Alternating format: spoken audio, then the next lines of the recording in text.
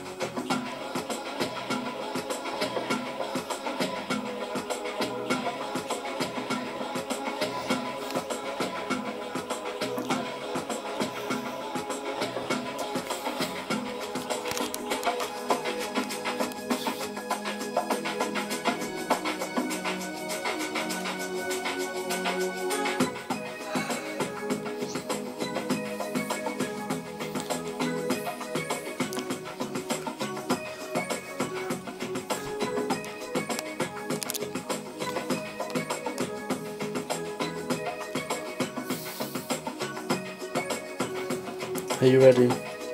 Yeah.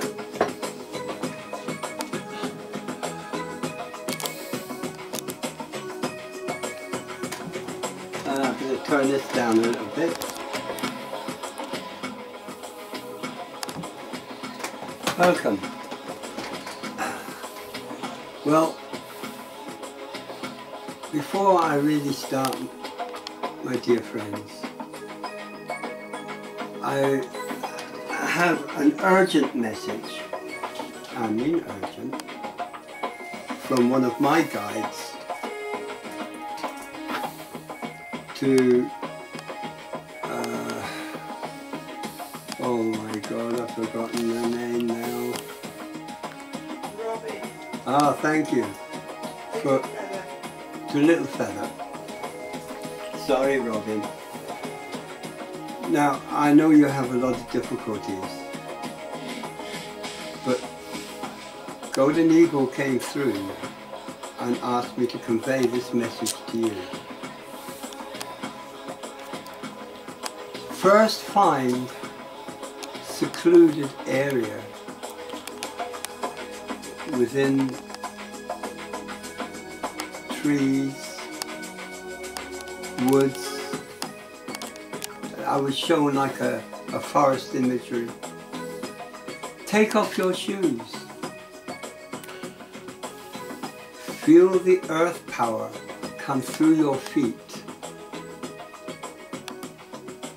Feel the earth regenerate through you. Forget your most dire needs. Feel the love of your creatures. Feel the love of the earth. All will be worked out for you. For there is nothing on this earth that is re for real. And again, you will walk the plains and feel the joy of life. Fear not what others think or say. You are the one that is responsible for your own reaction. So tune in to the earth. Let the earth heal you. This is important. All of us here have sent healing to you and will continue to. Poor little feather, our hearts go out to you, for you are much loved. We never forget, and we won't forget. Golden Eagle has requested this. Take it as, as I've said it. I've translated it back into my own words, for he talks a little bit cryptic, and you might not understand exactly what he's trying to talk to you about. Now let's get back to what we were discussing. You heard about Yesod. Um, I try to keep the Kabbalah for what it really is, not the load of mumble jumble that is passed down to you through hundreds of years, where they start talking about the tetragrammaton, they start talking about the Adonai. By the way, the Adonai they don't even know how to pronounce it. So come on, let's get down to what it really is. First, the Kabbalah does not acknowledge physical contact. Um, like, I contact this, I contact this. It doesn't acknowledge that. It only acknowledges spiritual. This is matter. A conglomeration of atoms and neutrons, neurons, all scattered in, into each other. That's all it is. So what is more real? This? Or, or in spirit? When you're dreaming, do you not find what you touch and what you handle within that dream, do you find it solid? Do you find it a reality? Yes, you do. This would become an unreality. Now in the Kabbalah, this also fits in to the Buddhist teachings, the Hindu teachings of India, the Native American teachings. When you fill your sink with water, watch the water go out. You will notice that it revolves clockwise. Hmm, very interesting. The earth rotates around the sun clockwise. The whole galaxy rotates, yeah, you've got it, clockwise. Why? This is what the ancients have been trying to tell you. What the Native Americans and their teachings have been trying to tell you of the great circle. The circle of life. So we deal with Yesod. But let's go a little bit further than that. Let's go to Tiphareth. What is Tiphareth? It is very, virtually the spirit of the heart. So what's that convey to you? It conveys to you the spirit of love. Unconditional love. And what does this mean? Oh, well, I can love him, but I can't love him because he's, he's not too nice. I don't like him, so I don't love him. But I love him. This is ridiculous. Unconditional love. We're all linked.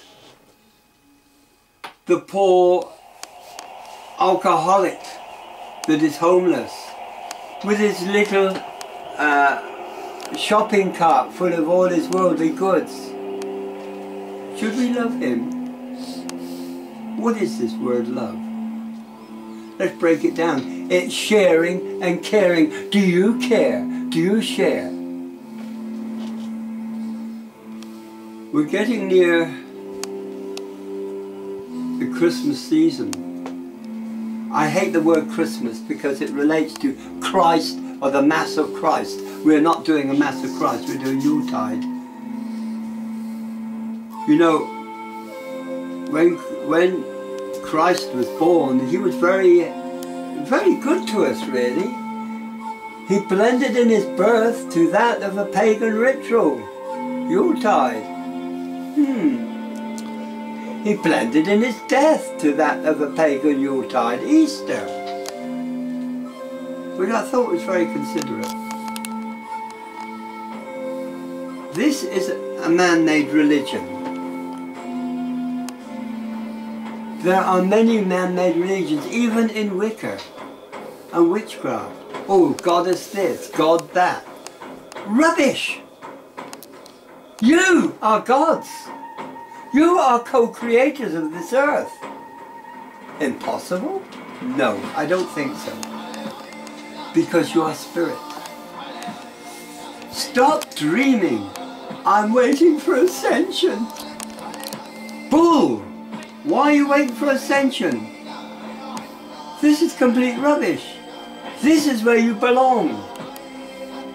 There is another plane of existence which runs Ten, parallel. minute, ten minutes Earth. have passed. Yeah, okay, thank you. You must remember this. Improve what you got, not run away. There's so many people run away. Well, Adrian has just given me the, told me that I've got to say goodbye to this, this particular event. I think this is the fourth in our series, isn't it? Third. the third in our series.